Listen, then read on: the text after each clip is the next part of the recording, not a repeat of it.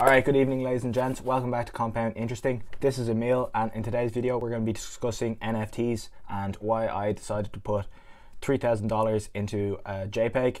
Uh, so I've been watching NFTs on the sidelines for the last year or so. I've just been watching on the sidelines. Told myself, no, I'm not going to get suckered. This is just hype. I'm not going to get suckered in. I'm not. I, I'm not going to FOMO in. I'm not going to get dragged into the hype, and lo, lo and behold, I got dragged into the hype. So here we are now. I'm to explain why I've kind of changed my mind on NFTs and whether or not I think they're a good investment for the next few months and for the next few years. What you should look out for if you want to get invested into NFTs, what kind of NFTs are good, and all that kind of stuff, and some really there's some really bullish points, some really interesting things happening in the world of NFTs that are kind of uh, legitimizing probably the newest uh, fastest growing way in the in the crypto economy to you know make crazy money because yeah people are making absolutely insane amounts of money in NFTs and I think it's only going to accelerate. So like the first point that we'll talk about is Twitter. Twitter is really really changing the game for crypto. So Jack Dorsey's obviously very into Bitcoin. He's a big Bitcoiner. Kind of doesn't like Ethereum. However, his company Twitter is going to be doing NFT verification. So you know the little blue tick that you have on Twitter if you're an important person. Uh, in the future, or probably the near future, you're going to be have you're going to have a little Ethereum tick beside your profile picture to show that it's a legitimate NFT. It's a it's a real one, and I think that's extraordinarily bullish. To just a yeah, it's a digital flex as we all know. Hello. So as promised, I wanted to show you some experiment we did about NFT. So basically you would be able to edit your profile, click on your avatar and select NFT. From this you would be able to connect to your wallet uh, and choose your preferred wallet. So for the purpose of the experiment, I'm just mocking, mocking the backend. So after confirming, you will be able to download all your um, NFT from OpenSea, select one, and then you will have your NFT as your avatar with the Ethereum uh, check mark showing that this NFT has been minted on um, Ethereum blockchain. If you click on collectible as well, you can see the collection of NFT you have. If you have any uh, feedback or ID, please uh, don't hesitate to share. Thank you. So as you can see from that video, it's going to be like the first place on the internet, like on social media anyway, where you can verifiably instantly see uh, the digital flex of via verifiable ownership of the NFT. So whether that be a crypto punk, a Bored Ape Yacht Club. And if you don't know what some of these are, I'll just throw up some of the. These are crypto punks go for hundreds of thousands, if not millions. Similar with Bored Ape Yacht Club, and I'm hoping my uh, NFT that I bought recently will eventually go there, but we'll see about that. But uh, I think it is an interesting project. So stick around for that if you're interested in buying an NFT. It's a good entry level price, probably in comparisons to some of them. And maybe I should just also mention Twitter is also doing the Bitcoin Lightning tips, uh, True Strike. So that's a big, another big benefit for Twitter. So if you're interested in the stock market, like Twitter is really doing making moves like in the crypto space. And if you think crypto is going up, and Twitter is adding all this utility through crypto, yeah, the Twitter stock could also be a an interesting buy in my opinion. But let's not go there for today. Let's just talk about NFTs. Next huge bullish point for NFTs, and then I have one more enormous bullish point for NFTs. Um, so the next one is Facebook is actually going to change its name from Facebook to uh, they're going to have a new name because they want to go all in. Uh, big Zuck, he wants to go all in on the metaverse. So he's a big metaverse guy. You know the way they bought Oculus headset. Facebook owns Oculus, so he wants to kind of be you know, the main guy in virtual reality and the metaverse and the property in the metaverse. The metaverse well, the, the currencies are probably going to be cryptocurrencies, but the property, the art, the ownership of houses, they're all going to be NFTs. So that's that's kind of big for NFTs down. That's probably a, a while away yet, but just so you're aware about that, Facebook is changing its name. They're really focusing on the metaverse, and yeah, that's and obviously with everything I'm saying here, like if you don't want to invest directly in, into NFTs, you can invest on the platform that they're built on because anytime anyone mints an NFT, any time set, someone sells an NFT on the Ethereum blockchain, uh, that will burn a bit of Ethereum and basically reward any holders of Ethereum. So that's why I have a big bag of Ethereum. All right, the next big point is if you know that the place that most people go to buy their NFTs is on OpenSea. Now Coinbase is coming and making their own OpenSea. So they've made their Coinbase wallet, which will be uh, basically your kind of like a MetaMask idea, where you can store your NFTs, and they're setting up a marketplace where you can buy and you can trade NFTs on Coinbase. So that is really going to open the floodgates to even more of the masses. I think towards the end of the year, when I think NFTs are in quite a big slump at the moment, but I think NFTs will have one last crazy retail pump towards the end of this cycle because all of these, well, particularly the Twitter verification, everyone, well, not everyone, but celebrities, they're all going to want that little Ethereum check mark uh, on Twitter. And all the retail are going to come come in and it's going to be so much easier to buy NFTs once Coinbase have it set up because OpenSea it's a bit of a hassle for noobs. Uh, you have to set up a MetaMask and you have to send Ethereum and you have to buy Ethereum. It's a bit it's it's it's easy enough if you're, if you're in crypto, but to a noob, I'd imagine it's just like not even worth buying an NFT unless you really really want it. But Coinbase is going to open up the floodgates to a lot of retail, in my opinion as I mentioned, NFTs are, have kind of been on a quite a big dip recently because Ethereum, the price of Ethereum has gone up. So say an uh, NFT is worth ten thousand dollars and Ethereum is worth let's say two thousand dollars, which it was like a few weeks ago. So that was that NFT was worth five Ethereum, and because all NFTs are priced in Ethereum, so if the price of Ethereum doubles, sometimes the NFT doesn't double with it. So the the NFT might be, be still worth ten thousand but the price of Ethereum has doubled. So your NFT has lost value in Ethereum terms, and now you can only sell it for 2.5 Ethereum or whatever that calculation is. I think it's 2.5. So we're on a bit of a slump here, and I think it might not be the absolute perfect time to get into NFTs, but the perfect time to get into NFTs for the last gigapump that I envision is going to be coming is soon. I think it will happen soon. The perfect time to really ape into NFTs for that last blow off cycle. But first, we have to realize like Ethereum could go to 10,000, Ethereum could go even to 20,000. So that's like a 2 to 4x from here, which could mean that NFTs could slump 50%, even more, probably around that maximum, in my opinion. I think they, they will track Ethereum, but they won't be as fast as it at first. And then all these people who bought Ethereum, so let's say this is Ethereum, this is the price of NFTs, they both started off. So this NFT was worth one, one Ethereum obviously one Ethereum is one Ethereum. Ethereum takes off, NFTs kind of come along with it but don't get as high. And then these people who have all this Ethereum and they're super rich, they're like, oh, I want to flex my wealth now. Now I start pumping my Ethereum into NFTs. So they'll be buying crypto CryptoPunks, they'll be buying everything, and that will gig ascend the NFT market, and that will, you know, and then probably ETH, ETH will start crashing as well, and that will make NFTs in Ethereum value skyrocket. But obviously what we want is to get NFTs when they're at that point. We want to be selling them at that point.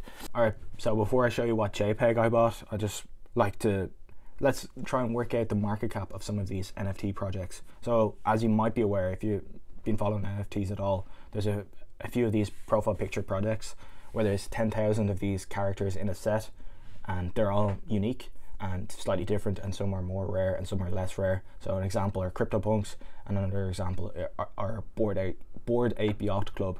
So Bored Ape Yacht Club, let's use that the, as an example. It's like the second most famous NFT collection. I think it's pretty cool. CryptoPunks are the probably one of the most valuable profile picture are the most valuable profile picture NFT, and that's because they're kind of the original CryptoPunk. Sorry, they're the original NFT set, profile picture NFT set, so that's why they're the most popular. I think bored apes are a little bit more cool in my opinion.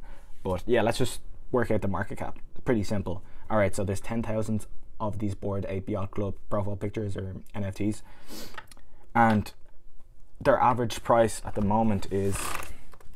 So the cheapest one is going for 34 Ethereum. So let's just say that's like 150,000. So let's just say 100,000 for nice round numbers, and we can I, I should also mention that the cheapest bored Ape Yacht Club was like 50 Ethereum a few weeks ago, I think. I think it was like 50 Ethereum, so it's on a quite a big dip at the moment. And not every bored Ape Yacht Club sells for 34 Ethereum, so it's actually it's it's a good bit more than 100,000 on average. Let's say 200,000. So 10,000 by 200,000 equals a market cap of one or sorry 2 billion. So a market cap of two billion for the entire Bored Ape Yacht Club set. That's how much. that's how much they're all worth if you could buy the entire thing right now, the entire market cap of it. So you kind of have to work out for yourself: is that overvalued? Is that in a bit of a bubble?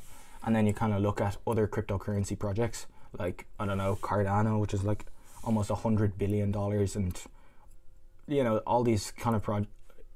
And you know any sort of cryptocurrency like Shiba, you know, is just a meme, and that's worth what, like twenty billion. Same with Dogecoin, it's like fifty billion dollars at some stage. But still, I think Bored Ape Yacht Club is quite expensive, even at a two billion dollar market cap. That's just, that's quite a high market cap for like a digital collection of art. But Bored Ape Yacht Club have really built this amazing brand, and they're kind of like the supreme of the crypto space. Everyone wants to be, everyone wants to have a Bored Ape Yacht Club, and everyone wants to kind of have a crypto punk. Um, but let's have a look at the NFT that I bought. So I bought this uh, like a week ago, and it's the first NFT I bought. Uh, so it's kind of watching from the sidelines the NFT, and I was like, eventually I was like, okay, I want to buy an F- NFT, and obviously I don't have a hundred thousand to spend on a Bored Ape or a crypto punk or anything like that. So I was kind of waiting for a cool project that uh, interested me enough to to buy into, and eventually I came across Jungle Freaks. So these Jungle Freaks, I thought they were pretty, actually really cool because they're all hand drawn, and it's the son and his father who've who are doing the project. So the father is the cartoonist, so he's been a cartoonist for 30 or 40 years or maybe more. So he's a really, you know, unique style cartoonist and his son and it, they just they just had great energy and I went into their Discord and everyone was very very excited about this project. So I was like, okay, this is the project that I'm I think could do well in the future. It has some it has good energy and it has good community and it has really cool art. And so I just bought one of the pre-reveal. So I didn't even know what my uh, NFT was going to look look like, but I spent 0.8 Ethereum, which was like 3,000 at the time, on this NFT that I didn't know what it was going to look like. And then I got my NFT, and that's this is what the NFT looked like in the end. And at first I didn't really like it, and now I pretty much love it. You know, these kind of NFTs they just kind of grow on you. So it's my profile picture like everywhere now. But anyway, yeah, and it's also doubled in Ethereum terms. So now it's worth like seven thousand. It's worth the cheapest one of these Jungle Freaks is going for 1.5 Ethereum, and that's when every other NFT is doing really terribly and horribly. Uh, as you can see, so Jungle Freaks are like the third most popular at the moment, and a few days ago they were the most popular.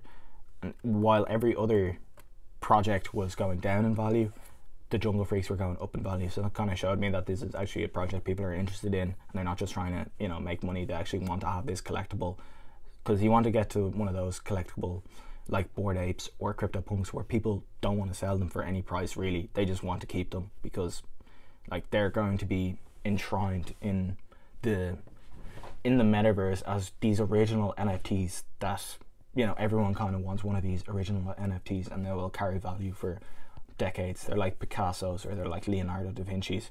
So obviously that's what I'm hoping will happen with this Jungle Freak that I bought. But yeah, obviously it's a bit it's extremely risky, extremely extremely risky because it's really hard to tell that like unless you're you know I don't know what kind of person you have to be. But like apart from CryptoPunks, Fidenzas, which are also really cool. I'll show a picture of one of them now they go for like a million. These fidenzas, these AI generated artworks, but there's only a thousand of them. Anyway, anyway, um, apart from fidenzas, CryptoPunks, and Bored Apes, and maybe a few others, like they're they're all kind of enshrined that they will always retain their value probably because people will always want them. And but with everything else, it's kind of high speculation. But that's why I think Jungle Freaks is, has an opportunity, but it's a really high risk investment, the biggest investment of my life uh, single investment that I've ever made really at one time. I never put three grand into anything. Well, I think I did with Bitcoin at one stage, but yeah, it, it's a big investment for me. But yeah, I think unless it goes to absolutely astronomical astronomical amounts of money, I probably just hold it for a few years, a few months at the very least, and maybe even a few years if it, unless I just, unless it goes through crazy valuations. So, oh yeah, the point I wanted to make about that is that so we said the market cap of Bored Ape Yacht Club is two billion, while the market cap of Jungle Freaks are sixty million dollars. So that's like, like that's as about as valuable as your local chipper. Like it's not very very low market cap. So there's an enormous upside if it got to the Bored Ape Yacht Club kind of level. What's that? Uh, like a 40x or something if it if it managed to get there and I think all NFTs will rise at some stage in this cycle for one last pump at least and they will rise considerably in my opinion. So I kind of agree or I've kind of learned this from Elio Trades, so that's one of the big YouTubers. I'm sure you've heard of him. If you haven't, I'll link it in the description. But he's really big into NFTs and he's really, really smart about them. And I agree with him. He says that well, I I think this he says that we're gonna have Bitcoin run, we're gonna have Ethereum run, then we're gonna have the alts run, and then we'll have the NFTs run. And I agree with him. And I think NFTs are the narrative of this cycle. So in 2017, the narrative was altcoins, and altcoins went crazy high and did crazy X's and multiples. But in this cycle, I think the altcoins can still do good multiples, even maybe even a few crazy ones, but maybe not as crazy as in 2017. But I think NFTs in this cycle can do those crazy multiples, and I'm kind of interested. I'll, I'll, probably be buying another Jungle Freak if it gets to like one Ethereum or 1.2 Ethereum. I'll probably buy another one at that stage because I don't want to be. There's some other projects I'm interested in, but I think Jungle Freaks is the one that I understand the most. I'm in the Discord. I kind of know what's going on there, and yeah, I, I haven't seen any red flags or anything. It's just been a very cool project to be a part of. So I might just buy one so I could try and sell it in a few months for when this NFT boom happens in a few months, which I think it will. I think it, it could be astronomical, but we have we'll we'll just have to wait and see about that.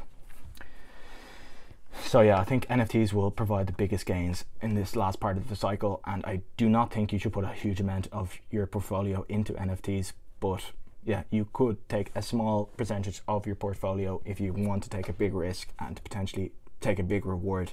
And yeah, if you want to buy into a project, maybe I couldn't really afford, well, I couldn't really justify putting buying two at that time, but I should have obviously. Uh, but it's kind of nice if you have two, so you can sell one and then keep the one that you want, and only buy a project if you actually want it. Only buy an NFT if you actually think it's cool and you would keep it and you would put it as your profile picture forever and have the Twitter verification. Because that's another reason that I wanted an NFT. I wanted the NFT just like for the reasons I ascribed. When Twitter has that verification, I want that little Ethereum verification. Alright, if you enjoyed the video, smash the thumbs up button. Uh, if you want to buy a Jungle Freak, if you want to learn a bit more about it, get into the Discord, follow them at, on Twitter. Uh, it they're going for like what one one and a half Ethereum right now, and this that would be a very highly speculative bet. And if you don't like Jungle Freaks, there's plenty of other NFTs if you want me to talk about them. Doodles is doing really well as well at, at the moment, so it's another one I'm kind of interested in in buying. But yeah, be careful, be careful with NFTs because yeah, obviously they're like alts are Bitcoin on steroids and NFTs are alts on steroids. Like they are they are highly highly speculative and risky. So yeah, just be careful. Obviously. Alright, that's all I'll say. I really hope you enjoyed the video. I hope you learned something and I can't wait to see you in the next one. Cheers.